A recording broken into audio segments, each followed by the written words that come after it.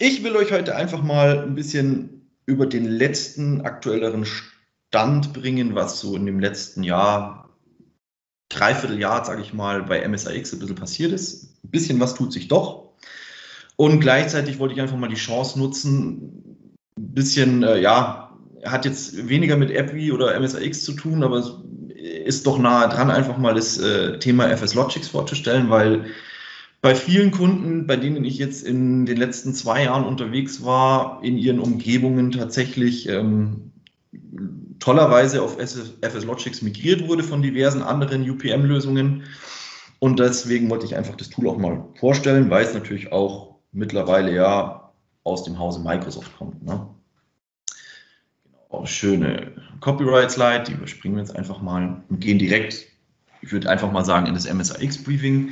Ein paar Sachen haben wir schon erwähnt oder wurden ja schon von Andreas oder ja, in erster Linie von Andreas ja schon angerissen.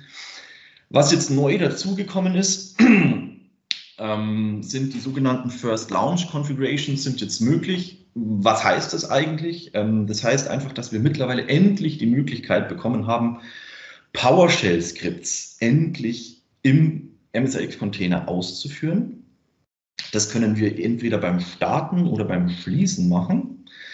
Ähm, das Ganze wird implementiert über das sogenannte Package Support Framework. Und da ist so ein bisschen so mein Schmerz aktuell, ähm, weil wir das Package Support Framework noch nicht im MSIX Packaging Toolkit integriert haben. Ja? Also wer das MSIX Packaging Toolkit kennt, ja, da haben wir mittlerweile schon immerhin äh, für MSIX Core, was Andreas ja schon angesprochen hat, ne, ein, ein, Flag gesetzt, wo ich das anhakeln kann. Dann wird das mit ins Paket gepusht. Ähm, beim Package Support Framework ist das leider noch nicht vorhanden. Ähm, und ist dahingehend ein bisschen fieselig in der Implementierung. Ja.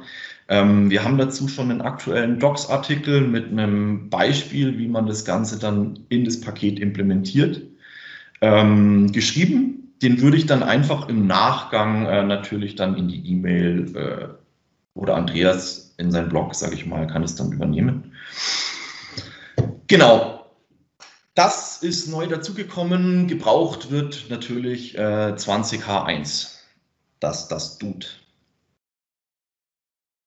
Genau. Unten auch nochmal ein Link zum PSF. Ähm, was wir auch schon ja kurz angesprochen hatten, ähm, MSRX kann jetzt mit Services. Ähm, kleine Besonderheit an der ganzen Geschichte ist, sobald ich einen Service mit Capture von, dem, äh, von der Software, brauchen wir ähm, Administrationsrechte, um natürlich den Service nativ im System zu installieren. Soweit, so gut ähm, ist, wenn ich jetzt standardmäßig, sage ich mal, einen MSIX-Package deploy über ähm, Intune oder äh, irgendeine andere ESD-Lösung, ist das kein Problem. Wird allerdings zu Problem, wenn ich ähm, Standard-User bin und einen Software-Shop auf einem eigenen, sage ich mal, Webserver betreibe.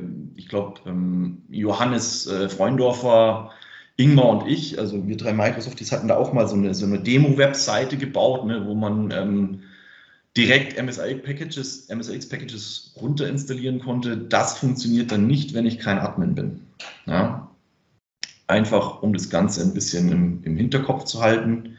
Ähm, auch hier 20H1 als Voraussetzung und ähm, genau, das Ganze wurde in den, ins Packaging-Tool implementiert. Und ähm, wenn ihr aktuell Packages damit gebaut habt, dann seid ihr da wahrscheinlich eh schon drüber gestolpert.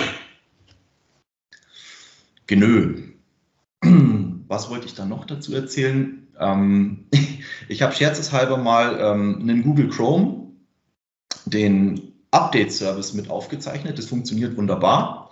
Was ich allerdings noch nicht ausprobiert habe, ist, was passiert, wenn der Service tatsächlich losläuft ähm, ob danach, ähm, ob er, sage ich mal, den neuen Content in den Container runterlegt und dann lädt und danach die Temper Protection anspringt, weil sich das Paket geändert hat. Was ich eher nicht glaube, sondern ich vermute einfach, dass er den Content äh, in den nativen Pfad ins Filesystem wahrscheinlich runterladen wird. Also ist, egal wie, ich glaube, dass nichts Vernünftiges dabei rauskommt in, im Falle eines Google Chromes. Ja. Wo das wahrscheinlich interessanter ist, sind natürlich so, ähm, jetzt keine Update-Mechanismen, aber sage ich mal sowas wie zum Beispiel, wenn ich einen FileZilla äh, FTP-Server oder sowas habe, da ist es dann natürlich schon durchaus interessant, ja, das mal zu probieren. Ähm, Support for Delivery Optimization haben wir eingeführt für native nativ über HTTP oder HTTPS, funktioniert aktuell über Intune. Ähm, ob das Ganze dann für Config Manager auch kommt, ist mir gerade nicht bekannt. Benötigt ebenfalls 20H1 oder neuer. Ja, MSX Core hat äh, Andreas ja schon angesprochen, ne? ist einfach ähm, die MSIX Engine die wir halt auf älteren äh, Editionen brauchen. Client und Server. Und das Coole hier ist halt, dass es mittlerweile ins Packaging-Tool integriert wurde. Ja, wenn ihr das Packaging-Tool habt und ihr habt in eurer Umgebung einfach noch ältere Clients, äh, also Windows 7 Clients, ältere Windows 10 Editions oder so, ähm, habt ihr einfach äh, den Vorteil, ihr setzt einfach einen Haken im Packaging-Tool, dass ihr MSIX Core mit einbinden möchtet und dann ist, die, ist das Thema erledigt. Ja, also ihr müsst es nicht irgendwie händisch einbauen. Das ist ziemlich cool. Ja. Oh. Als nächstes wurde ja schon die, ja, im, im, letzten Jahr durch das ganze Pushen von Windows Virtual Desktop ähm, das Thema MSIX App Attach immer lauter. Ja. Ähm, was ist MSIX App Attach? Ist im, soll eine Lösung werden für virtuelle Plattformen oder ist es ja bereits schon, wie eben unseren Windows Virtual Desktop, den wir in Azure anbieten. Ähm, was passiert da? Wir nehmen im Endeffekt ein MSIX-Paket, eine Software und packen diese in eine VHD oder VHDX und tun die dann im Endeffekt äh, an den Client ähm, mounten, stagen und anschließend das Paket registrieren.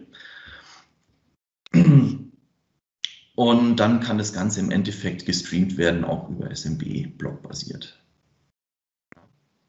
Dazu habe ich mal ähm, eine kleine Demo aufgezeichnet. Ne? Das heißt jetzt im Endeffekt äh, vom äh, Stefan Gregorie von der Produktgruppe, der das ganze Thema App Attach und VVD unter sich hat und treibt. Ähm, hier sehen wir die aktuelle uns zugängliche Variante, indem wir einfach äh, PowerShell-basiert ähm, das Ganze hier in diesem Falle ähm, eine VHD mounten, ja, mit dem Visual Studio Code. Das hat er gerade eben gemacht. Also er hat es gemountet, gestaged und registert. Dann dauert es ein bisschen. Und voilà, das MSIX-Paket ist da.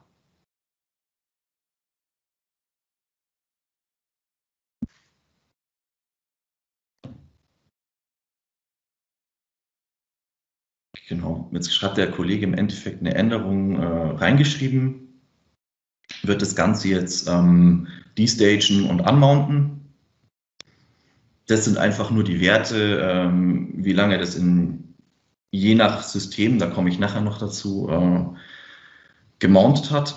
Jetzt ist das äh, Paket verschwunden. Und wenn er das Ganze jetzt äh, erneut mountet, äh, stage und registert, ähm, werden wir auch sehen, dass er das, was er vorhin in Visual Studio Code geschrieben hat, äh, geht bei dem Ganzen natürlich nicht verloren. Ne? wie, also im Endeffekt Cow-Location, ja. Dauert ein bisschen.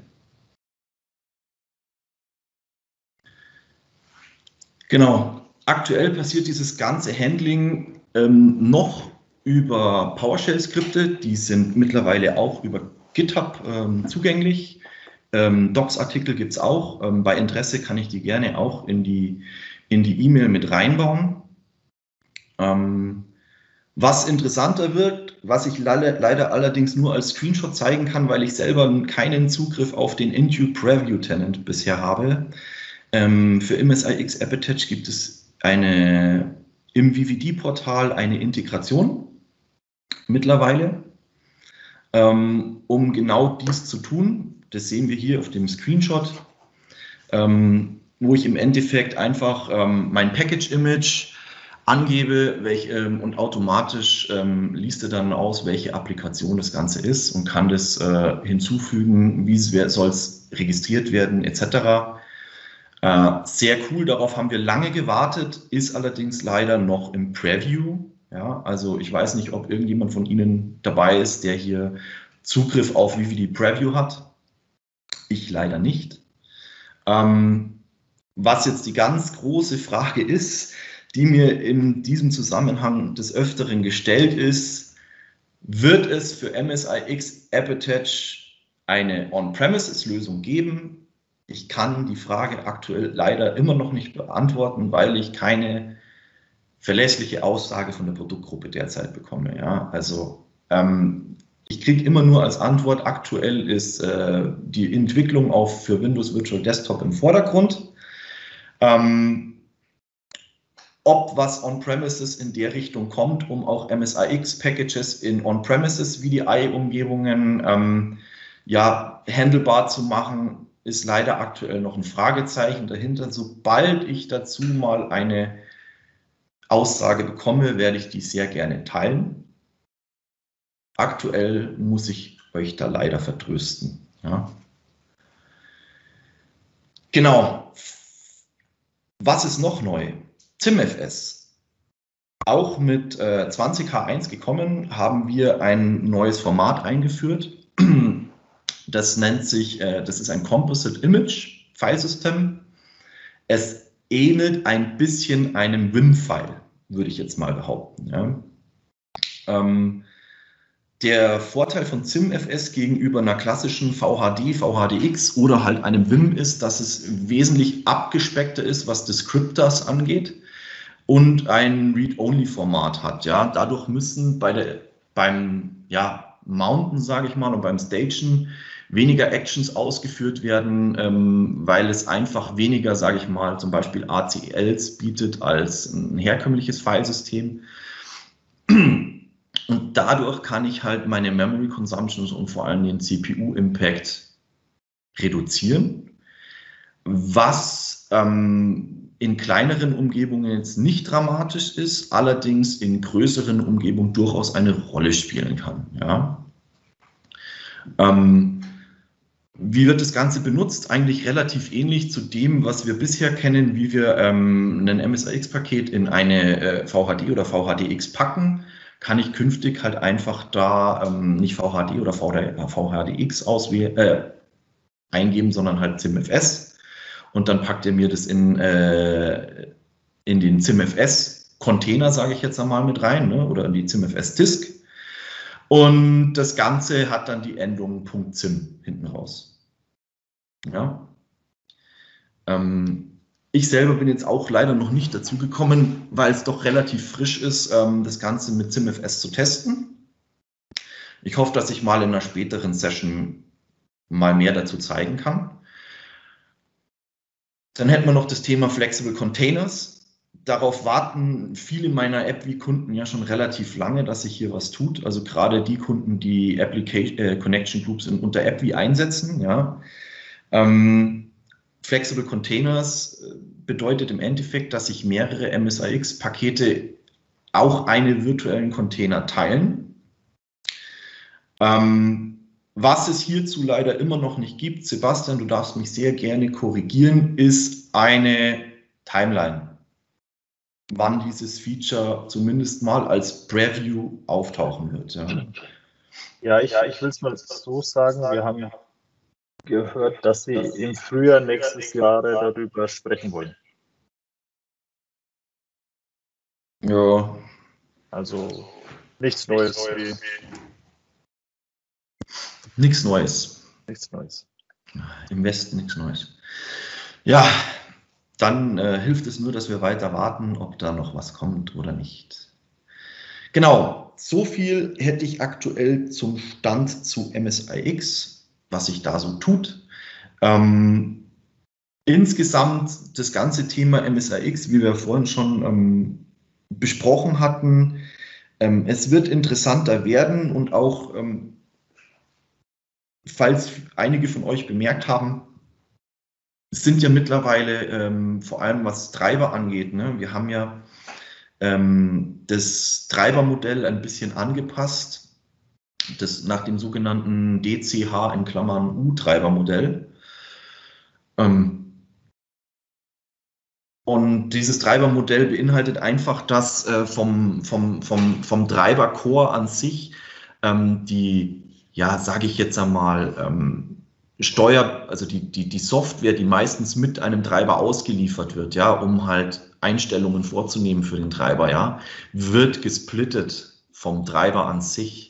Ja, ich bin dabei, einige Kunden sind da von mir reingerauscht, die ähm, beispielsweise neuere Intel-Treiber ausrollen wollten oder eben ähm, neue Soundkartentreiber und danach festgestellt haben, dass ähm, das Tool gar nicht mitkommt, sondern dass sich dieses Tool mittlerweile dann meistens äh, über den Windows Store for Business ja, versteckt oder generell im Windows Store. Genau, anderes Beispiel wäre zum Beispiel das NVIDIA Control Panel. Ja. Das muss ich mittlerweile, wenn ich diesen Treiber, dieses Treibersystem haben möchte, ja, muss ich das über den Store installieren. Ja. Ähm, und im Endeffekt sind es dann MSIX-Pakete in the future. Ja, also das Thema ist interessant und ähm, ich bin da bei Kunden reingerauscht, die halt eben LTSC-Clients einsetzen oder halt auch auf Servern unterwegs sind und dort auch ja zusätzlich zu dem nackten Treiber an sich halt auch die entsprechende Software draufpacken wollten und dann sind wir da reingerauscht und haben gesagt, oh, wie kriegen wir jetzt die Software auf den Server drauf? Ja, dahingehend wird das Thema wesentlich interessanter werden in naher Zeit. Genau, so viel zu MSIX von mir im Moment. Und jetzt würde ich euch einfach gerne mal das ganze Thema FS Logics vorstellen. Ja, ich habe gesehen im Chat, einige von Ihnen ähm, nutzen ja FS Logics mittlerweile schon und diverse Module. Ähm, was ist FS Logics? FS Logics wurde 2013 äh, gegründet und eingeführt wurde ursprünglich mal mit einem einzelnen, äh, nur ein einzelnes Modul dazu entwickelt. Mittlerweile gibt es vier in Klammern fünf Module. Und wir haben, weil es so ein tolles Produkt ist, haben wir es im November 2018 äh, gekauft und ähm, seitdem weiterentwickelt. Und es ist, sage ich mal, alle für alle Kunden, die den Desktop in irgendeiner Form lizenziert haben, ist es frei verfügbar. Ja? Ich habe später noch eine Slide, da stehen dann ganz genau, äh, welche Microsoft-Lizenz man im Endeffekt, welche man besitzen müsste, um es kostenfrei einsetzen zu können. Ja? Genau, was ist FS Logics? FS Logics ist eine Profile Management Suite, die ja sehr angelehnt ist an ein Citrix UPM, Ivanti Res, Ivanti Absence, Imedio. Manche der Tools können noch ein bisschen mehr als FS Logics. Ähm, das ist halt, sage ich mal, äh, Geschmacks- und Kostenfrage. Ähm, interessant ist, wir können FS Logics aktuell on-premises einsetzen, aber auch ähm, eben halt in der Cloud für Cloud-VDI-Lösungen wie zum Beispiel Windows Virtual Desktop.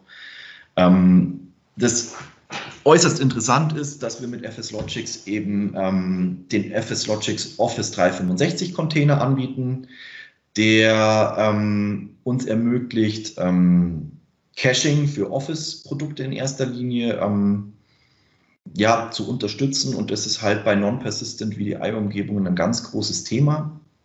Gehe ich nachher noch ein bisschen genauer darauf ein. Äh, wir bieten App-Masking, wir bieten Java-Versionskontrolle an. Ähm, man kann das Ganze so sehen, dass wir ein bisschen Enterprise State Roaming und UAV ähm, ja, sozusagen zusammengeführt haben, um Userdaten zu roamen. Und aktuell ist einfach FS Logics unsere ähm, bevorzugte Lösung für alle nicht persistenten Umgebungen. Jetzt schauen wir uns einfach mal ein bisschen die Architektur von, von dem ganzen Produkt an. Ja? Also ich habe ganz unten habe ich mein äh, Windows OS mit entsprechendem Filesystem. Und oben drüber habe ich, wenn man das so nennen möchte, Hypervisor-mäßig ähm, die FS Logics Core Engine. Die bringt wiederum, ähm, oder zusätzlich zur Core Engine, habe ich zwei Filtertreiber und einen Windows-Dienst, ja, die auf dem System drauf installiert werden. ähm, das Ganze, die Core Engine, wird im Endeffekt über Registry Keys konfiguriert diese kann ich über die üblichen Wege als, äh, sage ich jetzt einmal, Gruppenrichtlinie oder Gruppenrichtlinien Preference auf das System schießen. Und Dienste, Filtertreiber bzw. die Module werden ähm, über Regeln konfiguriert und diese Regeln sind im Endeffekt ähm, Textdateien. Ja? Also alles kein Hexenwerk. Ja? Ähm, Aktuell gibt es, wie gesagt, vier, in, ich sage jetzt mal in Klammern fünf Module. Ja. Ähm, das sind meine Profile-Container, mein Office-Container, mein ähm, Application Masking, mein Java Version Control.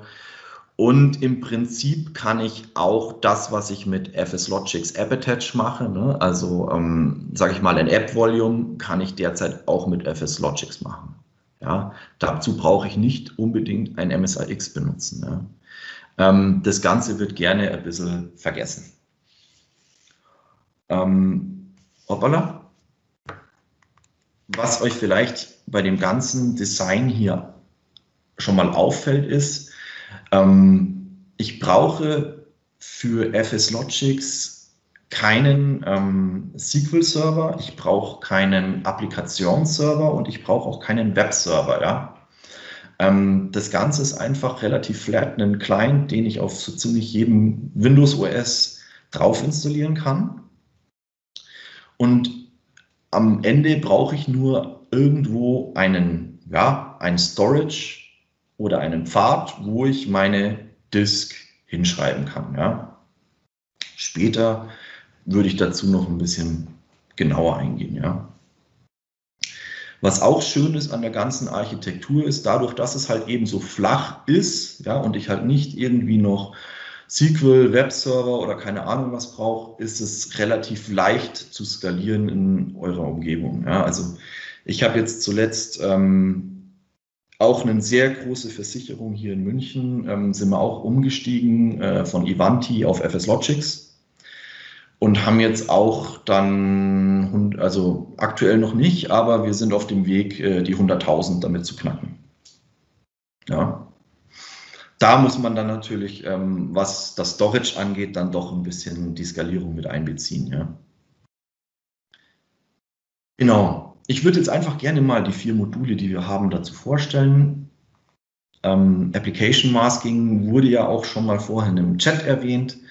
Ähm, Application Masking hilft mir dabei, die ähm, ja, im Idealfall Anzahl an Images oder Silos einfach zu reduzieren, indem ich, wenn nötig, meine Applikationen, die ich im Image schon vorweg installieren muss, rein installieren kann und dann wiederum ausblenden kann und dann für User oder Usergruppen eben über Berechtigungen wieder sichtbar zu machen. Ähm, es erlaubt mir mehrere unterschiedliche Versionen derselben App in einem Layer einzusetzen. Es funktioniert, wie wir im Chat auch schon gelesen haben, wunderbar zusammen mit AppV und kann auch, was ein ganz cooler Ansatz ist, ähm, auch dazu benutzt werden, ähm, ja, Lizenzen zu kontrollieren. Klasse Beispiel dazu ist, oder wie es Kunden einsetzen von mir, ist auch schon ähm, der Klassiker mit Visio und Project. Ja, weil ich es halt einfach dann auch schon nativ als native Installation mit äh, ins Image, ins Core-Image packen kann und blende es dann halt einfach standardmäßig aus und nur für die User, die eine Lizenz für eins der Produkte haben, blende ich es wieder mit ein. Ja. Java Version Control ähm, unterstützt beides, Java Applikationen und Applets. Ähm, Heißt im Endeffekt, ich kann auch hier beispielsweise im Image gleich mehrere Versionen von Java installieren, kann die jeweilige Version an Applikationen oder Applets bündeln und dann automatisch zum End-User zur jeweiligen Session redirecten, dass der User in seiner aktuellen Session, sage ich mal, die eine Applikation mit äh, Java Engine so und so läuft und wiederum eine andere Java-Applikation mit einer ganz anderen Java-Engine läuft im Hintergrund. Ja. Ist möglich. Ja. Dafür muss ich, brauche ich auch kein separates Packaging oder Sequencing. Ähm, der große Punkt Profile Container ähm, unterscheidet sich jetzt mal grundlegend nicht wirklich von, also es unterscheidet sich schon, aber es ist sehr stark angelehnt an User Profile Disks, die ja mit äh, Server 2012 R2 damals schon gekommen sind. Allerdings gibt es dann, dann schon einen feinen Unterschied. Ähm, und zwar der Filtertreiber von FS Logics, ähm, der ermöglicht es, die Gast VHD oder VHDX des Profils so zu mounten, dass ähm, ja kein Unterschied für das, also kein sichtbarer Unterschied für das OS, fürs Filesystem existiert. Und das bringt mir auch eine sehr hohe ähm, ja, ja, Successrate, was meine Applikationskompatibilität angeht, die halt eben ähm, halt Daten auch ins User-Profil anlegen. Ja. Ähm, es geht wesentlich schneller und zuverlässiger ähm, beim Login als das klassische Roman. Ja. Ähm, wir haben die Möglichkeit, ähm, Cached Exchange Mode wieder einzuschalten ähm, weil wir halt einfach das OST-File roamen können. Ja. Ähm, das habe ich in der letzten Zeit halt relativ oft bei, bei meinen VDI-Kunden gesehen, die halt noch eher klassische äh, UPMs äh, einsetzen. Ist es halt einfach so, dass viele den ähm, Exchange Online Mode verwenden müssen und dadurch halt sehr hohe Last auch auf den Exchange-Servern verursachen. Da sind dann meistens die Exchange-Admins relativ unglücklich darüber. Ja. Ähm, wir bieten auch ähm, Support für, für OneDrive mittlerweile an. Ähm, da gab es in letzter Zeit hier und da Probleme. Allerdings haben wir just diese Woche am 17. ein FS Logics Update veröffentlicht, was einige dieser OneDrive-Probleme unter anderem äh, behebt. Daher einfach mal sich die Release Notes ähm, des aktuellen Updates für FS Logics mal zu Gemüte führen ich würde den Link dazu dann halt auch einfach im Nachgang ähm, verschicken. Genau. Das Profil äh, der Container ist eine VHD oder VHDX, das kann ich einfach festlegen ähm, per Policy. Der Unterschied ist, ähm, VHDX kann das Profil wesentlich größer werden. Ja, VHDE bin ich äh, in der Größe limitiert, VHDX bin ich es nicht. Ja. Wie gesagt, äh, derselbe Ansatz wird genutzt wie bei einer User Profile Disk. Ähm, beim Login wird das Ganze gemountet. Die Größe des Profils, dadurch, dass ich halt eine Disk habe, die einfach gemountet wird, spielt die Größe des Profils keine Rolle. Erstmal beim Loggern. Was natürlich früher immer ein Thema war bei klassischen ähm, Copy-Jobs. Ja. Die, das Ganze wird dann blockbasiert im Endeffekt ähm, übers Netzwerk geschickt, was wiederum den Netzwerktraffic ja kleiner macht im Vergleich zu dem, was ein Standard-Copy-Job machen würde.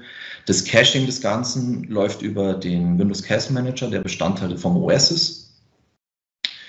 Und standardmäßig nehmen wir vom User alles mit, was unter C-Users Username liegt. Ja? standardmäßig. Ihr könnt Exclusions setzen, das ist möglich. Ähm, aus Erfahrung würde ich euch aber empfehlen, vorsichtig an das Thema ranzugehen, weil ich durchaus schon Kunden und Cases hatte, die sich mit Exclusions dann Applikationen zerlegt haben. Ja. Also da ein bisschen Obacht geben. Genau. Und durch den Filtertreiber ist es halt einfach möglich, das Ganze ähm, im, im, Sinne dadurch, dass es anders, äh, das, die, die Gast-VHD minimal anders gemountet wird wie eine klassische UPD, kommt es einfach für das Filesystem, fürs OS, für die Ordner so rüber, als ob das Ding wirklich tatsächlich nativ da liegt. Ja. Das ist sehr cool. Office 365 Container ist ein bisschen anders, wurde dazu designt, dass wir es halt eben auch mit herkömmlichen anderen Profile Management Lösungen einsetzen können und dient in erster, da, erster Linie dazu, ähm, die ganzen Caches zu handeln, ja, Search Index oder halt eben OST Roaming, ja. Ähm, Beispiel ist halt einfach in den, in den klassischen Umgebungen, wo ich das nicht habe, habe ich meistens nicht zwingend die Möglichkeit, das OST-File, weil es ja doch relativ groß wird, ähm, vernünftig zu roamen, ja. Und das führt halt dazu, dass wenn sich ein User anmeldet, ähm, auch die Suche doch relativ eingeschränkt ist, ne? weil auch ein Search-Index im Endeffekt ein Cache ist.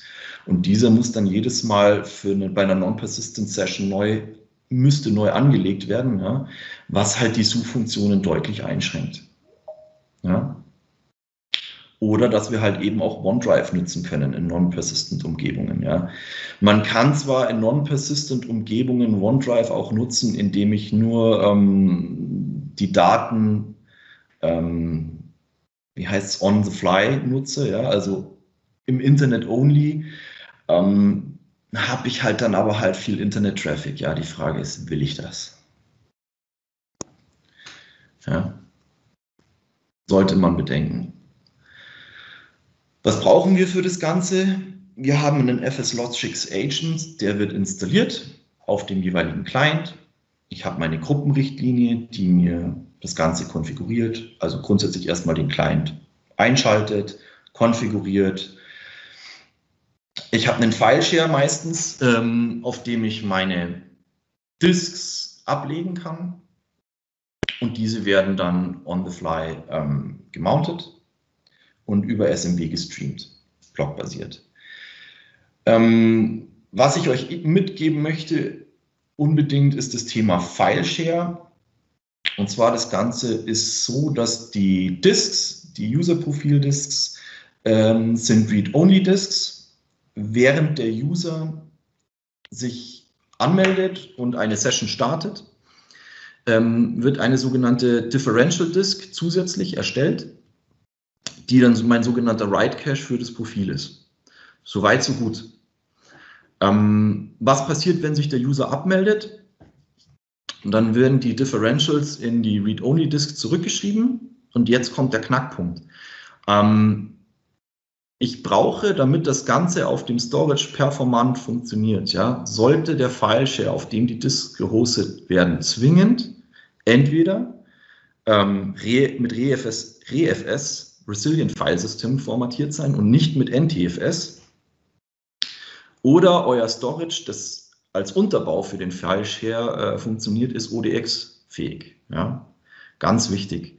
Ähm, wenn, wenn ihr das nicht habt, ja, dann wird ähm, die Differentials über einen Standard WinCopy-Job übertragen und das äh, erzeugt dann doch äh, recht hohe Last, sage ich mal. Ja. Ähm, da bin ich jetzt äh, bei einem Kunden auch reingelaufen in das Thema. Dahingehend einfach, das ist sowas, was man ein bisschen äh, wissen muss. Das ist auch von uns, ähm, es ist dokumentiert, aber man überliest es gerne. Ja. Genau.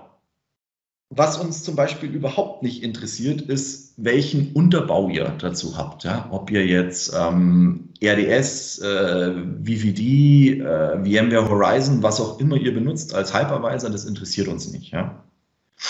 Das tut auch so. Ja? Also lässt sich wunderbar in eigentlich fast jegliche Umgebung integrieren. Spannend ist halt einfach nur, ihr braucht eine dieser Lizenzen sonst tut es nicht. Also sonst dürft ihr nicht. Aber in der Regel ähm, solltet ihr da eigentlich eine davon haben. Ja. Das ist aber auch alles soweit dokumentiert. Ja, das war wesentlich schneller als gedacht. Ähm, ein kleiner Überblick mal über FS Logics, ganz grob, ohne sehr in Details sich zu verstricken. Ähm,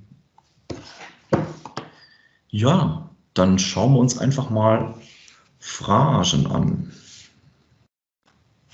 Und dazu sollte ich mein Screensharing mal beenden, damit ich mal wieder was sehe.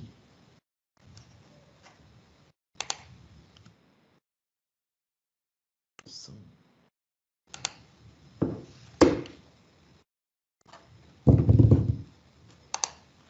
so, das war's von mir in relativ schnell.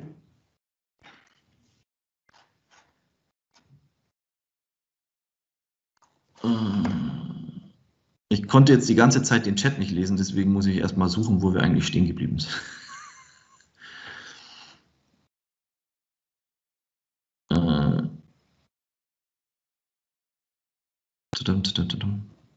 Andreas, Sebastian, ihr habt doch hoffentlich schon mitgelesen und Fragen beantwortet. Ja, zumindest ein Teil. Ist Appetech VVD only? Äh, nein, ist es nicht. Allerdings ähm, dieses ganze Benefit drumherum, was wir gesehen haben, wird aktuell eigentlich schon, also alles, was drumherum gebaut wird, wird hauptsächlich gerade für Windows Virtual Desktop halt entwickelt. Ja. Genau. Das wäre die Frage gewesen, ob man das halt auch auf dem Fett-Client Windows 10 einsetzen kann, was natürlich wahrscheinlich eher wenig Sinn macht. Macht wenig Sinn. Macht wenig Sinn. Ja. Aber funktionieren wird es. Funktionieren würde es, das ist richtig. Mhm. Genau. Ich meine, das ist, ist, wie ich gesagt habe, eine Marketing-Sache. Technisch spricht da nichts dagegen. Aber man möchte halt Windows Virtual Desktops damit erstmal pushen. Genau, das, was, was wir jetzt gesehen haben bei, bei Windows Virtual Desktop zum Thema MSIX Appetech, diese Sneak Peek Preview von der, von der, sage ich mal, ja, äh, Azure App, wo ich im Endeffekt eigentlich meine VVDs manage, aber jetzt auch MSIX Appetech managen kann, ja. Ob das dann irgendwann mal in der Zukunft als On-Premises zur Verfügung steht, als sogenannter MSIX Appetech Server, ja, als Management Engine, ja, weil ja immer die Frage kommt, was ist denn dann, wenn App wie durch MSIX abgelöst werden soll, ja, was gibt es dann einen MSIX Server oder wird der App wie Server zum MSIX Server, ja? Ich könnte es mir vorstellen, dass das möglich wäre. Die Frage ist, ist es im Scope von unserer Produktgruppe und aktuell ist es das nicht. Ja. Sebastian, du darfst mir gerne korrigieren, aber ich glaube ja, nicht, dass das im Fokus ist. Der Fokus ist WWD. Sie wollen das pushen. Sie wollen ja auch RDS, ähm, wie soll man sagen, ähm, runterfahren stimmt nicht ganz, sondern man möchte halt den Fokus auf WWD legen. Ja, man, man geht aktiv und auf Kunden zu und sagen, hey, ihr habt RDS-Farm, 1000 Server, ähm, wir hosten wir ein WWD für euch. Kostenvorteil, keine RDS-License, ist in eurem Windows-Fall mit dabei. Und ein Entscheider sagt natürlich auch, Rechnung links, Rechnung rechts. Dann gehe ich halt auf WWD, wenn Microsoft dieselben Funktionalitäten hat, bespricht. Mhm. Ähm, ich glaube, Matthias, du müsstest dich muten, wenn Sebastian oder ich was sagen. Ähm, ich glaube, halt ein bisschen. Ja, genau, jetzt ist das weg. Vielleicht hast du es nicht gehört. Aber ähm, einfach so generell, wir hatten, ähm, ich, Entschuldigung, ich wollte jetzt nicht unterbrechen, Sebastian. Hast du durch? Hey, ich wollte ich wollt nur eben sagen, okay. dass der Fokus auf ganz stark auf WBD liegt. Dann hatten wir eine Frage hier zum Thema Application Masquerading in Verbindung mit äh, Microsoft Office. Ähm, das ist wahrscheinlich auch eine lizenzrechtliche Frage, weil klar kann ich Komponenten ausblenden, aber ich muss die trotzdem lizenzieren. Ist das richtig? Ähm, ja, okay. Ja. Also das ist, das ist ganz klar, ähm, wenn man was in der Garage stehen hat und theoretisch eine Zulassung hat, dann muss man es auch äh, lizenzieren, äh, also sprich äh, Steuern mhm. dafür bezahlen. Das ist der klassische Office-Fall, dass man immer wenn man eine Office Suite hat. Ähm, auch das, was die Office Suite hat, das hat man ja schon mit der MP4. Ähm, ich mache User Publishing für Excel und PowerPoint und möchte nur diese zwei Sachen äh, lizenzieren für den Benutzer und habe aber eine ganze Office Suite virtualisiert. Funktioniert nicht. Mhm. Dann kam noch eine Frage auf zum Thema äh, AdV und Lotus Notes. Also in dem Fall geht es eben darum, Outlook durch Lotus Notes zu ersetzen. Ähm, interessante Frage. Also eben Lotus Notes ausblenden. Jetzt sehe ich nämlich also doch keine lizenzrechtliche Frage, sondern ähm, Outlook verstecken und stattdessen Lotus Notes. Ne, klar, Protokolldriver müssen natürlich aktiv sein. Aber hast du mal oder hat einer von euch mal Lotus Notes virtualisiert? Ja, also ich, ich nicht. Ich, ja, ja, schon mal lange her, LP5, SP2 ähm, ging. Man, wir haben jetzt hier keinen Dominus-Server oder was am Start, ja. Also mhm. das, was man, was ging, ging. Und beim Kunden ging es soweit auch. Ob jetzt alle funktionalen Funktionalitäten da waren, weiß ich nicht. Oh. Ja. Das Problem, was wir damals hatten, war jetzt auch nicht direkt mit Node, sondern irgendwie mit, mit äh, App in der Anbindung daran. Ähm, aber der Kunde hat es dann schlussendlich eingesetzt. Für ihn hat es funktioniert. Wobei der Weg natürlich jetzt nicht, das sage ich mal, äh, Microsoft nicht so sehr gefällt von Outlook zu Notes, aber das ist ja nochmal ein anderes Thema. Ja, ähm, klar, ich meine, der Kunde muss ja dann beides lizenzieren. Also letztendlich, Microsoft leidet nicht darunter. Ähm, wir haben die nächste Frage hier. Und zwar ähm, ähm, äh, FS Logics Profilcontainer in Multisession-Umgebung. Ich weiß, da gibt es Anpassungsmöglichkeiten. Aber was ist, wenn der Benutzer sich eben gleichzeitig auf seinem Windows 10 Desktop und, ein, und einer Windows Terminal Server Sitzung anmeldet? Inwieweit ist das heute, was ist jetzt State of Art, frage ich mal so. Ähm, ja, ist möglich. Also ihr hört ja mich, ich habe jetzt mit umgestellt auf Kopfhörer. Ja. Passt, oder? Ähm, Super. Äh, ja, allerdings Microsoft mal da hinten ausgeblendet. Es gibt ähm, durchaus andere Hersteller, das gerade wenn ich auf mehreren Plattformen unterwegs bin, das besser kann als FS Logics. Ja. Okay, dann könnte man vielleicht auch nochmal UEV ins Spiel bringen, kennt keiner, vielleicht oder nicht viele zumindest. Aber so für die eine oder andere Anwendung, wo man es im ganz kleinen Rahmen braucht, das funktioniert wunderbar mit ähm, ähm, auch mit ganz vielen Anmeldungen. Ja, also vielleicht so als Hinweis. Ist auch ein Betriebssystem, genau wie Phi so selten verwendet, aber vielleicht so als Stichwort. Man könnte es vielleicht sogar kombinieren. Die mit Profilcontainern. Macht das Sinn? Schwer zu sagen. Das, das kommt, glaube ich, auch auf den Einsatzfall an, weil du kannst natürlich, äh, wenn du nimmst das ganze Profil ja in dem Container mit ähm, mhm. und vielleicht hast du das eine oder andere, was du wirklich zur Laufzeit reinschießen möchtest. Ja. Ähm, mhm. ich mein, ich glaube nicht, dass das äh, super toll ist, super performant, wenn man alles ja äh, mehrere Sachen. Aber es gibt auch Kunden, die mal unabhängig davon, die haben FS Logics und noch eine zweite Third-Party-Profillösung am Start.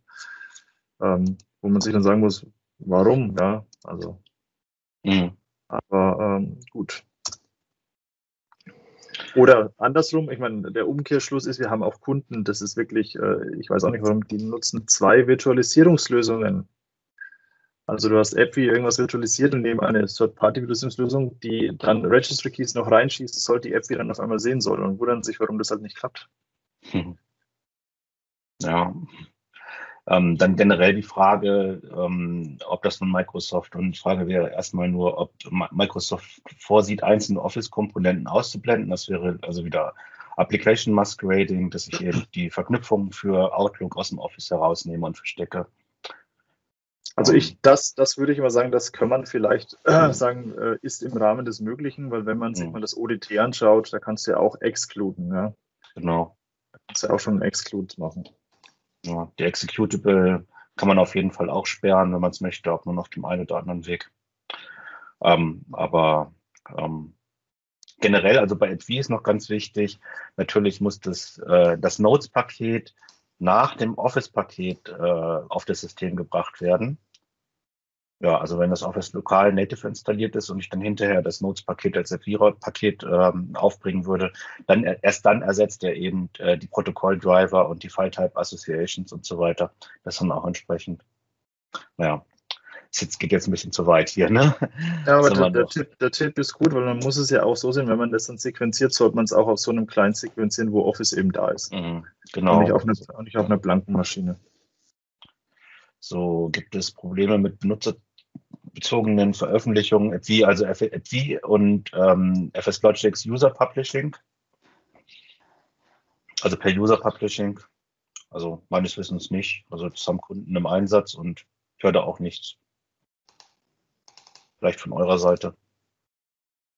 Also eben nee. im Gegenteil, ist eher vorteilhaft eben, weil ich diese ganzen Probleme mit äh, Package ID, Version ID und User Settings und so weiter in Verbindung mit FS Logics komplett ausblenden kann, außer ich baue Exclusions damit ein, weil ich die nicht haben will. Aber das wäre dann, glaube ich, auch nicht so klug. Also im Gegenteil. Gut. Wachsende Profilcontainer habe ich noch gelesen. Ähm, wäre noch so ein Punkt, die ja eben immer größer werden, die Profilcontainer und nicht mehr kleiner. Ich glaube, das ist generell ein Thema der VHD-Struktur. Also vorwärts immer, rückwärts nimmer, so ungefähr. Mhm. Dass die halt, äh, dass man immer konvertieren oder, oder wie auch immer es heißt, schrinken muss, manuell, damit es sich halt wieder. Man muss halt mit PowerShell was machen. Es, ich mhm. weiß, da gibt es auch sehr, sehr viel in der Community, was da passiert. Da sind schon die tollsten Tools drumherum entstanden und Frameworks, die dann irgend sowas aufräumen können und abschnippeln können und wieder zusammen ähm, bauen. Also ich, da kann man einiges in machen. Also ein Kunde von uns hat sich gegen FS Logics entschieden, weil er äh, eben äh, mit Citrix Profilmanagement ganz einfach mal so im, im Dateisystem irgendwelche Daten ändern kann und löschen kann in den Profilen seiner Mitarbeiter. Das war für ihn ganz wichtig. Und er hätte sonst immer die VHDX oder die VHD mounten müssen und da hätte dann erst was ändern können. Das fand er ganz doof und er wollte halt die Profilsachen im, ja, diesen die sind auch relativ klein. Ne? Also da muss ich mir dann eben keine Sorgen machen über den Größenzuwachs und der hatte auch nur relativ wenig Anwendung. Also da hat das schon Sinn gemacht. Ich sag mal so, es kommt halt immer drauf an. Man muss sich die Umgebung anschauen. Klar, wahrscheinlich hat Microsoft eher so die ganz großen Kunden. Und ähm, das sieht natürlich ganz anders aus als bei den kleinen. Ne? Also, so, ähm, Kunde wollte keinen App-Locker integrieren und hat das mit FS Logics Regeln gelöst. Fand ich eine witzige Idee weil ähm, FS Logics ist ja dann vielleicht auch schon auf einer Pro Edition lizenziert. Und den AppLocker habe ich dann ja erst auf der Enterprise dabei, also meines Wissens, ich habe es fast nicht genau im Kopf. Und ähm, auf, der Art, auf die Art und Weise kann ich ja vielleicht da an der Stelle umgehen, wenn ich eine Office 365 Lizenz habe für meinen Client oder für mein System. Und damit eben, ähm, ja. Das kommt hier also das ist nochmal eine Antwort von Ben. Ich glaube, was war nochmal die Voraussetzung für FS Logics auf Seiten des Servers, der die äh, VHD bereitstellt? Achso, ähm, ja, Servervoraussetzungen, ich glaube nicht viele, ne? vielleicht Visual C++ Runtime, ich habe es nicht genau im Kopf. Also das Ding ist, sich, ist ziemlich harmlos zu installieren. Das muss war, jetzt damit das, das Storage, war jetzt damit das Storage gemeint? Ähm, ja. Ach so, das kann sein, dass das, das Storage voraussetzt. Und da hätte ich auch sogar noch eine Frage. Wie schaut denn das mit dem Scale-Out File Server und, ähm, und ähm, VRDXen aus? Also, das wäre mal ein interessanter Punkt. Gut, gut, dass du fragst. Ähm, bau bitte kein Softs. Okay. Weil Resilient File System ist unter Softs nicht supported. Okay, das ist klar, aber ich kann ja ein anderes nehmen. Ähm, dann müsstest du NTFS nehmen, aber dann kommst du dahingehend wahrscheinlich in die Bredouille, dass halt eben das Merchant, der Differential Disk und der Read-Only Disk ähm, weitaus mehr Zeit in Anspruch nimmt, als das es sollte. Mhm. Ähm, Storage Spaces Direct wäre zum Beispiel auch eine Lösung. Ne? Okay, das ist natürlich eine interessante Option. Ähm, also generell Servervoraussetzungen, hat es ja schon erwähnt, aus deiner, deine Empfehlung ist halt ein REST-File-System und ansonsten File-Server am besten etwas ähm, verfügbareres. Also wäre dann in Microsoft Cluster oder sowas, wo man dann ja. Images gut verteilt. Aber da habe ich ja dann eben auch trotzdem eventuell, wenn ich einen Ausfall habe, wäre ja doof, ne? Also ja, das ist ja dasselbe wie, wie, wie bei App wie halt. Also, ne? also wenn bei dir im Data Center was ausfällt und steht, dann hast du halt ein Problem, gell? Und dann ist App wie wahrscheinlich dein kleinstes. Hm, ja, gut, aber da kann ich ja die Pakete schon hochverfügbar auch bereitstellen. Ja, äh, gut, ja. du machst halt bei den, bei den, ähm, bei den Profilen machst halt auch ein File-Cluster, ja. File-Cluster, ja, okay. Also ein, ein, klassischer File-Cluster mit keine Ahnung, wie viele Nodes du halt machen möchtest. Ähm, der, da wird ReFS drauf supported oder halt eben mhm. Storage Spaces Direct wäre eine Möglichkeit. Mhm. Ähm, in Azure geht Azure Files. Wer es ein bisschen performanter haben kann oder möchte, der kann sich äh, Azure NetApp Files anschauen. Mhm. Ist halt dann Kostenfrage, ne? Mhm. So, ähm, ja, der Ben wünscht sich SCCM-Integration für Appetech. Vielleicht kommt ja da mal was. Was haben wir hier noch? Achso, da hat das, da Sebastian schon geantwortet. Das habe Kunden gesehen, die hatten Notes äh, 100% in AppV laufen, ob alle Features funktionieren. Ach so, ja, Dankeschön. Also das wäre da schon die Antwort ne, zu Lotus Notes. Also ich würde da auch mal einfach nach einem Rezept suchen, also Notes Receipt, was dabei rauskommt. Irgendjemand hat da bestimmt was schon geschrieben. Ähm, SCCM-Integration auch schon beantwortet. ja, ähm, wenn ähm, Appetite on-prem kommen soll, dann kann es eine SCCM-Integration geben. Schön wär's. Ja, aber da sind so viele Leute am Basteln. Also ich habe jetzt gerade erst gesehen, ähm, der ähm, eine Kollege da von, von Sepago hat so ein Management-Tool programmiert für Windows Virtual Desktop. Ich habe seinen Namen vergessen. Aber der ist ja ziemlich aktiv in dem Bereich. Und der hat da jetzt auch irgendwas integriert, glaube ich. Also, und dann gibt es natürlich noch den MSIX Hero, den kennt vielleicht auch der ein oder andere schon. Der baut auch Appetech Images out of the box. Na ne? gut, ich bin dann eher so der manuelle Typ. Ne? Das heißt, ich baue sowas mit PowerShell auf der Command-Line. Und ähm, naja, die GUI baue ich dann hinterher für die PowerShell, wenn ein Kunde das möchte. Aber äh, da gibt es schon ganz tolle Tools. Also MSIX Hero, wer da sich mit beschäftigt oder so, sollte sich die mal anschauen. Also hm. wahnsinniger Aufwand steckt da drin. Ne? Super gut programmiert. Ich habe ähm, selten so ein gutes Tool gesehen. Ähm, Offload Data Transfer, so ist irgendwie ein Link, der da veröffentlicht wurde. Das, ist, ähm, das beschreibt das ODX, das Offloading Data. Das ist aber halt eher tatsächlich hm. ein reines Storage-Thema. Ne? Also das wirst du mit FS Logics im Zusammenhang nicht lesen. Ähm, okay. Ich würde mal das Recording noch stoppen.